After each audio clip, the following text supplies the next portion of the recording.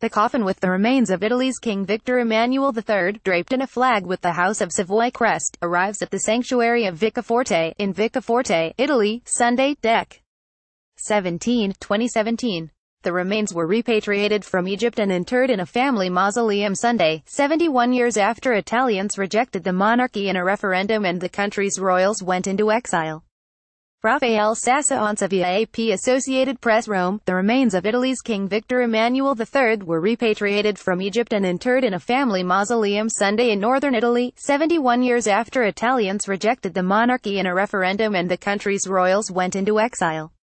The return of the king who for a time backed Benito Mussolini's fascist dictatorship dismayed members of Italy's tiny Jewish community and Italians devoted to the memory of the partisan fighters who tried to free the country from fascism's grip during World War II.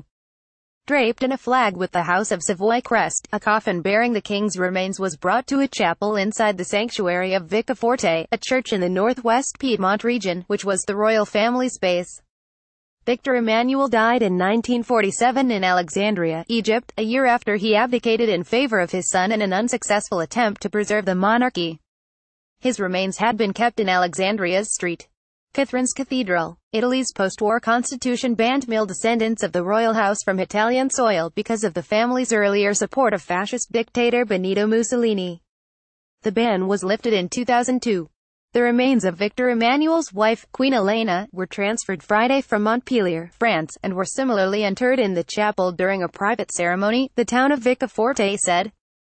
Elena died in France in 1952.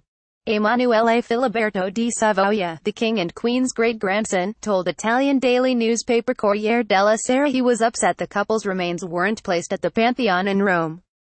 The ancient Roman monument is where Italy's first two Savoy kings, Victor Emmanuel II and Umberto I, and its first queen, Margherita, are buried. Di Savoia was quoted Sunday as saying that members of the House of Savoy, with roots stretching back to the Middle Ages, shouldn't be buried in just any tomb, but deserve to be in the Pantheon. Asked if the Pantheon as a burial site wouldn't be anachronistic, given Victor Emmanuel III's support for fascism, the great-grandson said, it's not out of step with the times to hope for respect for kings.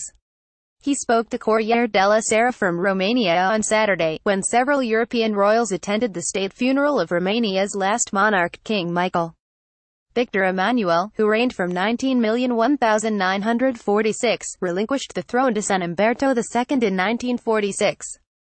Umberto II ruled just a few weeks before Italians rejected the monarchy and voted to make the country a republic.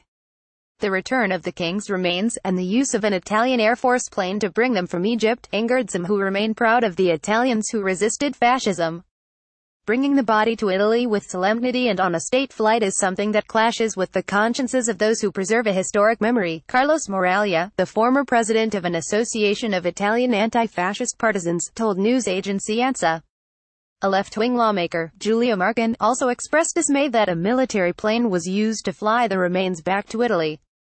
Victor Emmanuel didn't oppose the arrival of the fascist dictatorship, signed the shameful racial laws against the Jews, and led Italy into the disaster of the war on the side of the Nazis, and so quote Marcon as saying, Property and businesses were seized from Jewish owners in Italy under 1938 racial laws that also prohibited Jews from marrying non-Jews and attending educational institutions.